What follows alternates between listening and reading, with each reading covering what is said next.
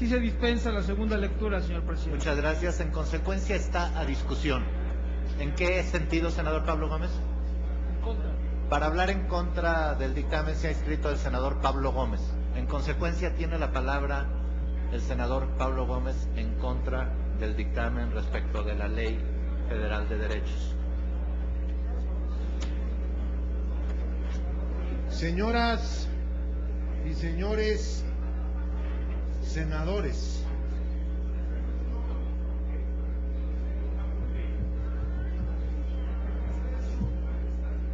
no puede negarse que en este salón hay siempre mucho más desorden que en la actual Cámara.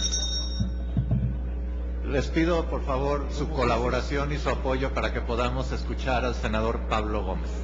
No, si de que me escuchan, me escuchan. Sí. Entonces ya, ya no volvemos a venir para acá, ¿verdad? No, Mejor allá. mala idea.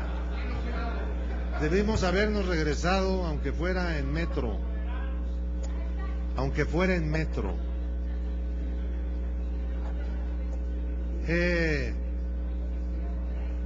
vengo a hablar en contra del dictamen que da una opinión sobre el proyecto enviado por la colegisladora sobre la Ley Federal de Derechos, no por lo que contiene, sino por lo que no contiene. Hace un par de años, senadores de varios partidos políticos, entre ellos eh, el PRI, el PRD y el PAN, enviamos a la Cámara de Diputados una iniciativa con proyecto de decreto para establecer una nueva tarifa y una nueva base para el cálculo de la misma sobre los derechos de la explotación minera. Señores y señoras, actualmente,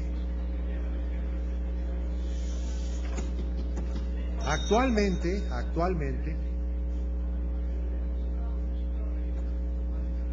las concesión, los concesionarios de la industria minera pagan el primer año cinco pesos mensuales, cinco, cinco pesos mensuales por hectárea. Y va subiendo según el tiempo que transcurra desde el momento en que se les dio la concesión hasta un tope máximo de 101 pesos por hectárea.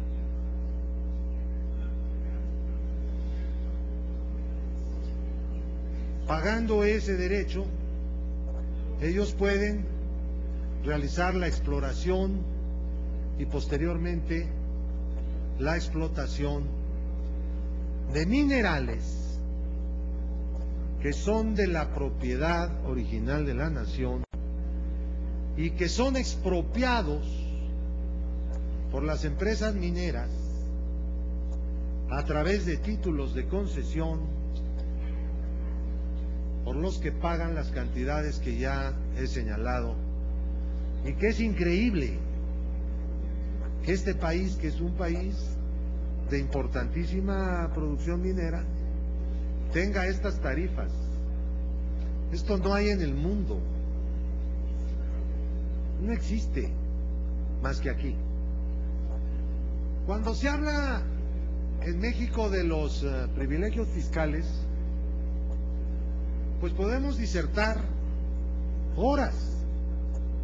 Pero uno de los que más eh, brincan es este.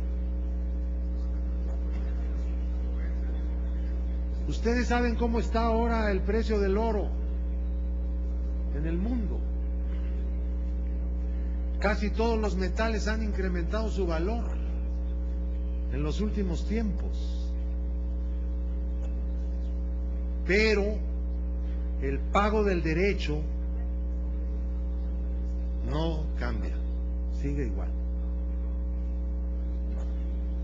Yo les decía ayer a los ilustres senadores y senadoras miembros de la Comisión de Hacienda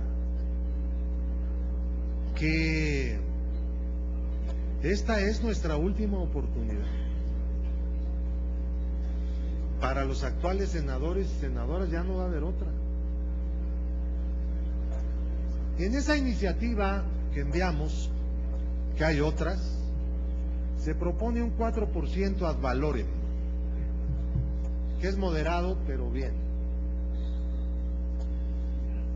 ¿Qué valor? Pues el promedio entre el precio mínimo y el máximo del mercado de metales de Nueva York en el mes que corresponda y resolvemos el problema.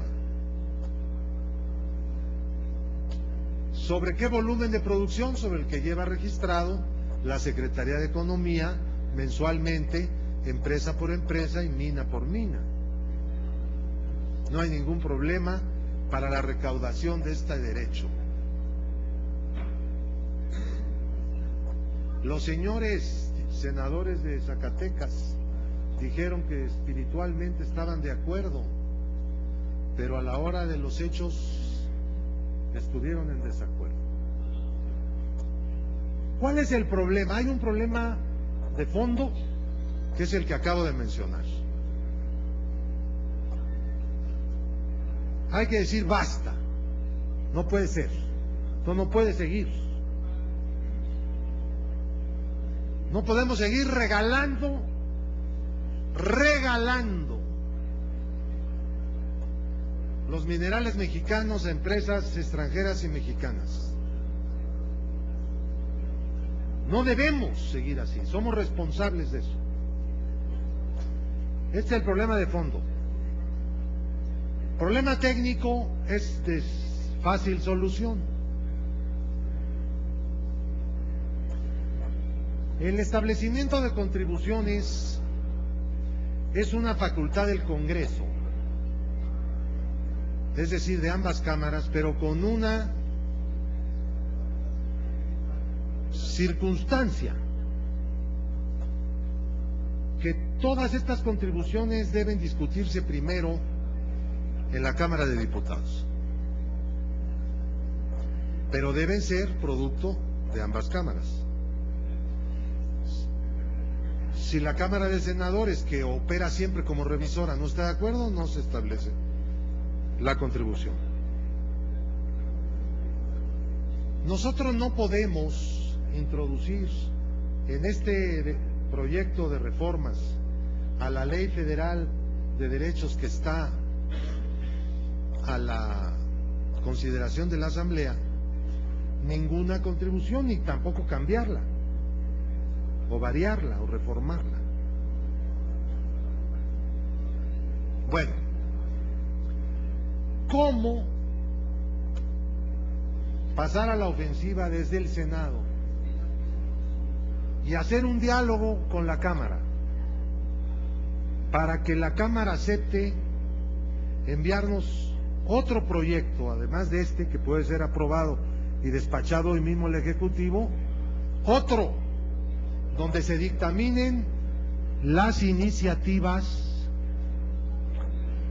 que están en la Cámara de Diputados y que nunca han sido discutidas siquiera en la Comisión de Hacienda. Nunca han aparecido en el orden del día de la Comisión de Hacienda. ¿Cómo lograrlo? Pues yo les decía a mis colegas de la Comisión de Hacienda del Senado ayer, donde me apersoné para plantear el tema, comisión de la que yo no formo parte, que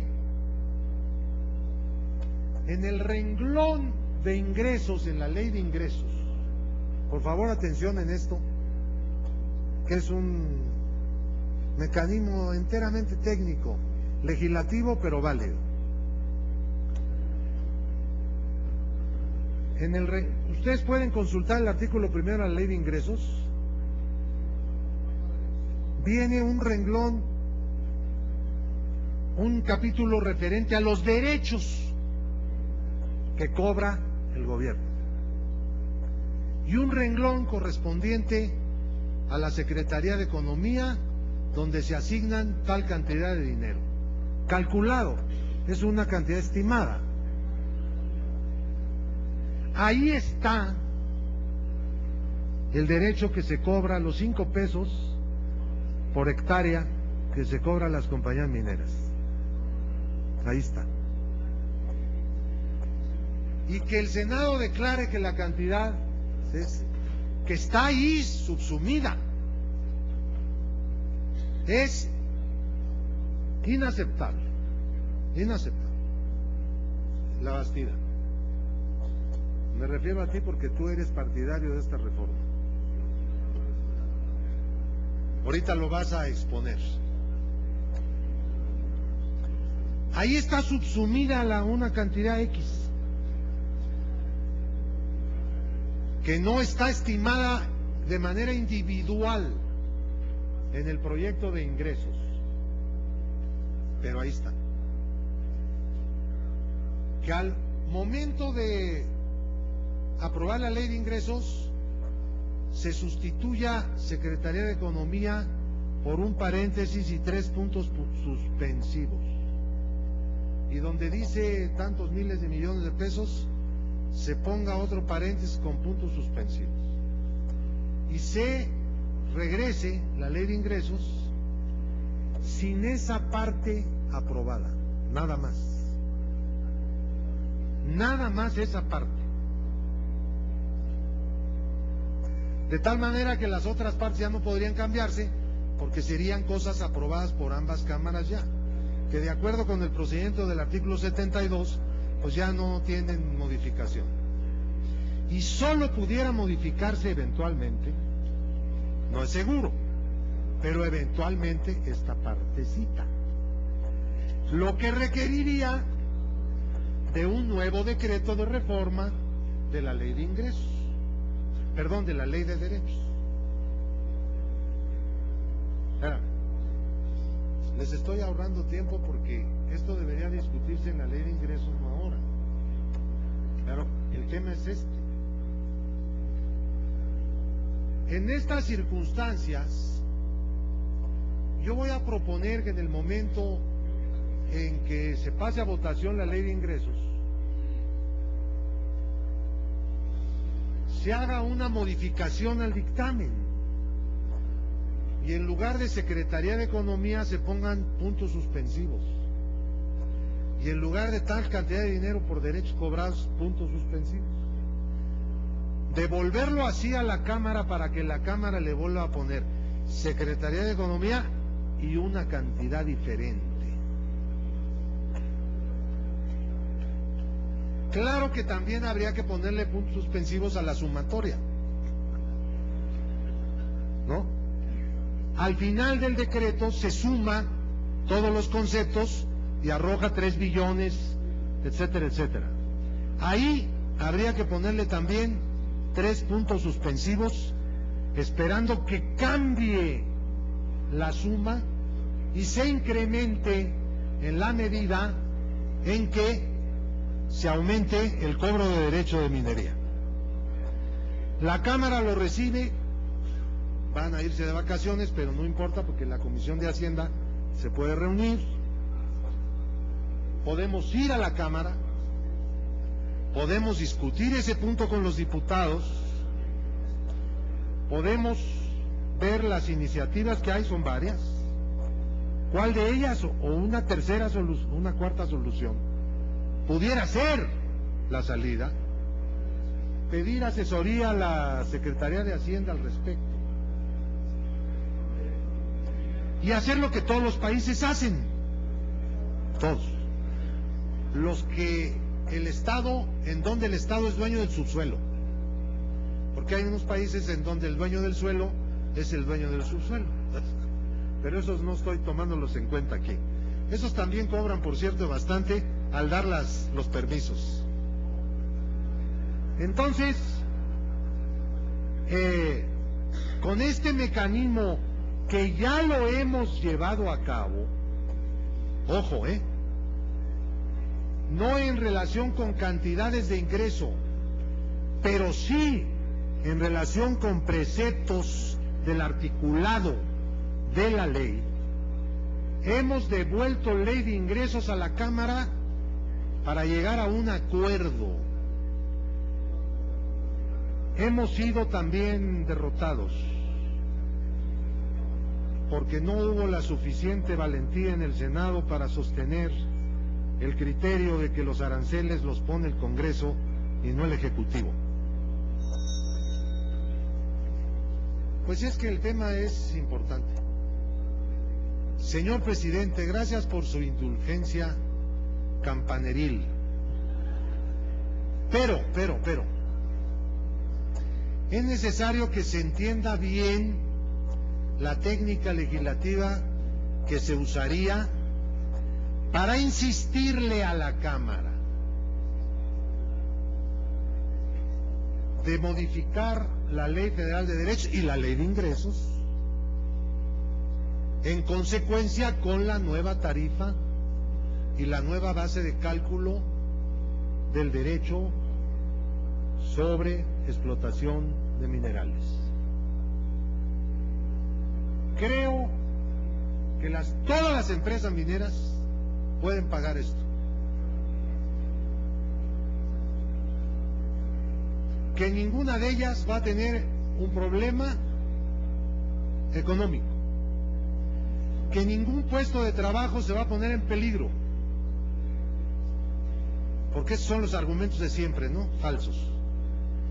Y que la industria minera va a funcionar como ha funcionado hasta ahora, que desgraciadamente no es muy, no muy bien. Y que el Senado podría ganar una pelea en nombre y representación del pueblo de México y del Estado Nacional Mexicano, en la que haríamos una reivindicación del patrimonio nacional minero, del suelo, porque también hay minerales en el suelo, y del subsuelo mexicanos.